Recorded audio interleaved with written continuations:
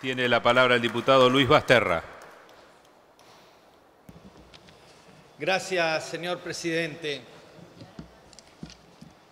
Estamos presenciando el fracaso de un gobierno que después de tres años de gestión, habiendo recibido un país desendeudado, un país Gracias. ordenado, nos empezamos...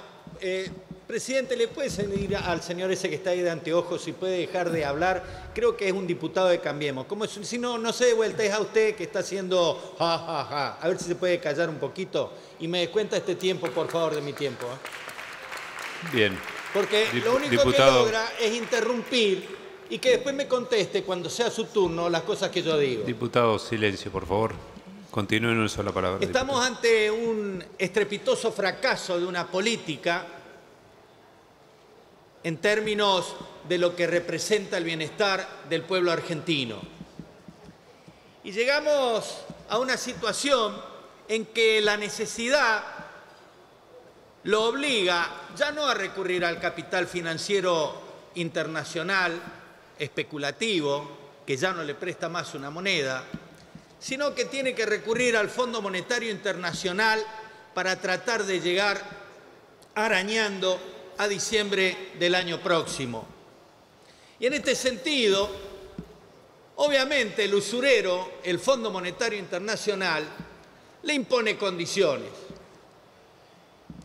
Cuando vino aquí el ministro Duhovne a explicarnos lo que era este presupuesto, esta traducción del inglés que hizo de un presupuesto elaborado fuera de nuestro país, las condiciones impuestas, algo que ni siquiera estaba en la cabeza de ninguno de los funcionarios ni de los diputados de Cambiemos, porque el presupuesto presentado poquito tiempo antes, perdón, el programa presentado ante el Fondo Monetario no planteaba ni el déficit cero ni todas estas cosas, pero que la imposición hizo que tengan que modificar ese presupuesto, el ministro Duhovne nos dijo que nos iba a presentar los términos del acuerdo antes de tratar el proyecto de presupuesto para el año 2019. Y ahora no solo no nos trae el proyecto de acuerdo con el Fondo Monetario, sino que ayer a las 10 de la noche nos dan la última versión del presupuesto que hoy tenemos que debatir y tratar. Esto para nosotros es extorsivo, nos impide dar un debate con seriedad de un gobierno de transición hasta el 10 de diciembre del año próximo. Este no es un gobierno que inicia su primer año, está iniciando su último año con una de las peores crisis de las cuales hayamos atravesado en varias décadas en nuestro país, con índices de desocupación, con índices de inflación, con una devaluación brutal y con un horizonte realmente pavoroso. Nosotros creemos que todo esto que han estado haciendo, y voy a dar un ejemplo, ponen cifras subvaluadas para después decir que acuerdan para lograr el voto de algunos que no tenían definiciones muy firmes. Voy a dar el ejemplo del INTA. En el INTA están todos felices porque se le aumentó 400 millones de pesos. ¿Saben qué, muchachos? Con esto apenas estamos en un 10,57% por encima de lo que fue el presupuesto del año pasado. ¿Qué significa esto? Que estamos muy por debajo de los recursos que necesita un organismo ah, soberano en términos tecnológicos, de una amplia base participativa, con científicos de las universidades, con representantes de los productores y con representantes de los distintos estados, cae en la posibilidad de desarrollo autónomo. Con esto nos están tratando de convencer, con un fondito para acá, con la recuperación de esto por allá.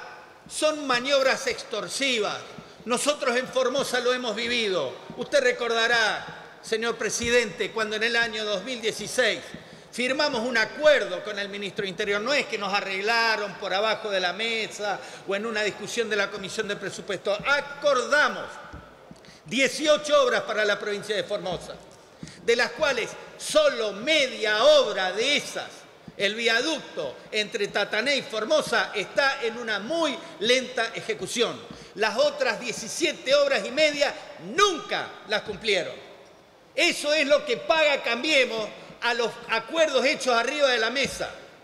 Mi provincia tiene ahora una gran obra, la obra del siglo, como la llamamos, el acueducto para el desarrollo. Estamos recontra felices. ¿Saben cuándo empieza esa obra? En el año 2023. ¿Cómo podemos nosotros acompañar este proyecto de presupuesto con esta ofensa al pueblo formoseño?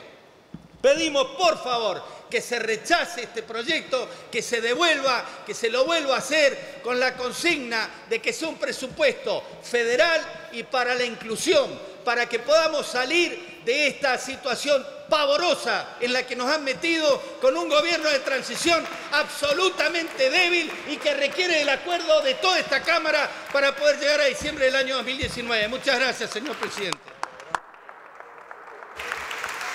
Gracias, señor diputado.